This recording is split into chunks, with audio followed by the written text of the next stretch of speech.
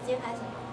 好，大家好，我是菜菜，很高兴今天来看《分手说爱你》的试片会。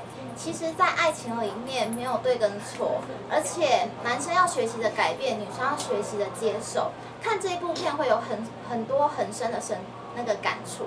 然后我觉得在爱情国度里面，其实是嗯要勇于去追求，不要留下遗憾，不管是对或错，但至少是你的人生。